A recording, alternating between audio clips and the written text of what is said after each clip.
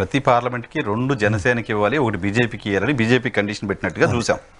So ఇరవై ఇరవై నాలుగు సీట్లు కూడా తీసుకు ఇరవై ఐదు సీట్లు కూడా తీసుకోవాలి. ఇరవై ఐదు పార్లమెంట్ కదా ఆంధ్రప్రదేశ్లో. ఇరవై నాలుగే తీసుకున్నారు. ఒక్కటి కూడా తీసుకోవాలి ఈవెన్ పార్లమెంట్కి. ఇవే చెప్తున్నాను సార్. ఇప్పుడు ఇందులో చంద్రబాబు నాయుడు లేటో టికెట్ అనౌన్స్ చేసుకోగలిగాడు కానీ జనసేన ఎందుకు అనౌన్స్ చేసుకోలేకండి పవన్ కళ్యాణ్ గారు ఎక్కడ పోటీ చేస్తారో తెలియదు. ఎందుకు ఎందుకు పవన్ కళ్యాణ్ గారు టికెట్ అనౌన్స్ చేయలేదు? మూడు ఎంపీల్లో ఒక ఎంపీ ఎంపీగా పోటీ చేస్తారా? ఇంట్రెస్టింగ్ మేబీ అది కూడా అనకాపల్లి. ఇప్పుడు ఇప్పుడు chance are very bright. So not Narsapuram. Narasapuram ఈ కాల మధ్యలో వాళ్ళు రాజీనామా చేశాడు కదా. Hmm. ఎవరు?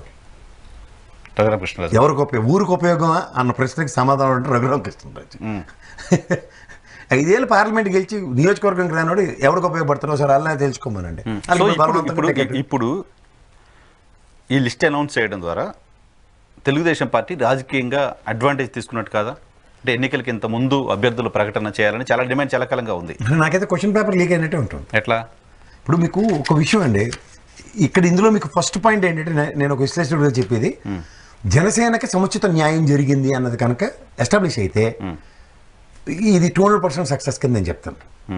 ఎందుకంటే ఇన్ ద ఇంట్రెస్ట్ ఆఫ్ నూట డెబ్బై ఐదు నియోజకవర్గాలు.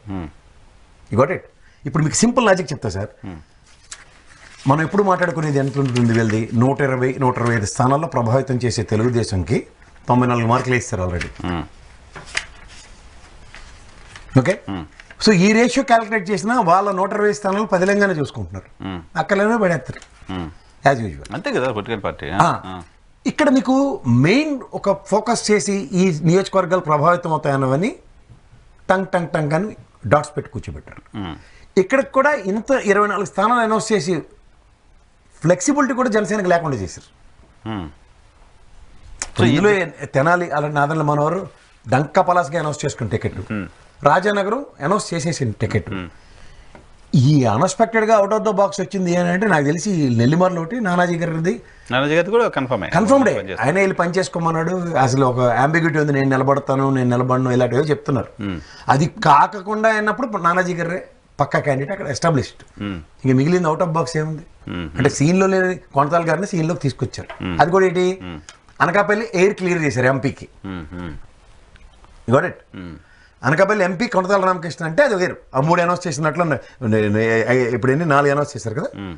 నాలుగిట్లో మూడే అనౌన్స్ చేసి ఒకటి ఎంపీ టికెట్ కూడా అనౌన్స్ చేస్తాను కొనతాల్ గారు అంటే I would have not but ఇది ఒక ఎంపీకి లైన్ క్లియర్ చేసుకునే కార్యక్రమంలో అనకాపల్లి నియోజకవర్గం నుంచి కొనతాల్ గారిని ఎమ్మెల్యేకి. ఇంకొక ఇష్యూ ఏంటంటే మహానాడులో చేసిన తీర్మానం ఫార్టీ పర్సెంట్ యువతకు సీట్లు ఇస్తామని. ఏరే వందలో నలభై మంది ఉన్నారా? ఎత్తుకోలు మీరు అలా ఎతుకుతూ ఉండండి. మళ్ళీ కుటుంబాలకి అలా పరిటాల గారికి అయితే ఒక న్యాయం ఒక మన అచ్చెన్నాయుడు గారి కుటుంబానికి అయితే ఒక న్యాయం. కే. కృష్ణమూర్తి గారికి? కే. కృష్ణమూర్తి గారికి ఇంకో న్యాయం. కనమల గారికి ఇంకో న్యాయం. ఇవన్నీ చూస్తుంటే తెలుస్తుంది కదా. గారికి ఒకటే ఇచ్చారండి వాళ్ళు కూతురికి ఇచ్చారు. అదే వాళ్ళిద్దరిని దూరం ఉండమన్నారు వాళ్ళ అమ్మాయికి ఇచ్చి పని చేసుకోమని చెప్పారు. అదే ఓకే. నేను అంటుంది ఏంటంటే one you're giving lot of priority to the seniority Yerrannaidu గారి ఫ్యామిలీకి అయితే ఒకలా యాడ్ స్టిక్ ఉంది. మిగిలిన అందరికీ ఒక యాడ్ స్టిక్ ఉంది. ఇప్పుడు కాంటెంపరీస్ కదా వీళ్ళందరూ కేఈ గారు ఎంత తక్కువ? మీరు ఇంతమంది మర్చిపోయి చెప్పడం. తిరువూరు టికెట్ ఆశించింది జవహర్ గారు. తెలుసు సార్. జవహర్ గారి పేరే లేదు కదా. కొవ్వూరులో కూడా లేదు. సో జవహర్ గారికి టికెట్ ఉండదా? మాజీ మంత్రులు జవహర్ గారు డౌట్ గంటా గారు డౌట్ ఉమా గారు డౌట్. ఇంకెవరున్నారు?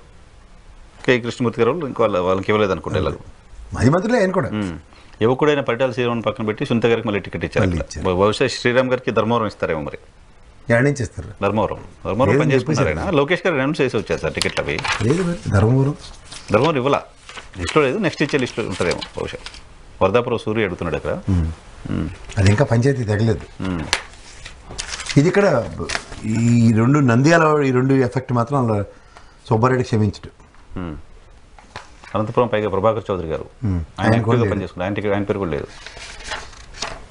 ప్రభాకర్ చౌదరి గారి పేరు కూడా లేదు. కమిట్మెంట్తో పనిచేసే వాళ్ళ వరకు దిక్కు లేదన్నది అర్థమైంది. ఇప్పుడు జవహర్ గారు నిరంతర ప్రజల్లో ఉన్నాడు కంటిన్యూస్గా అవును. ఎప్పుడు సేమ్ అలా సోనియా గాంధీ అలా సినిమా చూడమన్నాడు సోనియా గాంధీ ఎప్పుడు శివుని మాటలు విని ఎలా కొంపమంది తెచ్చుకుందో అదే పని జరుగుతుంది ఇక్కడ. దిక్కుమాల కోటరీ ఎప్పుడు మాటలు నమ్మి ఎవరెవరు ఎక్కా నిజమైన క్యాండిడేట్లు వాళ్ళ ఎబిలిటీస్ ఏంటి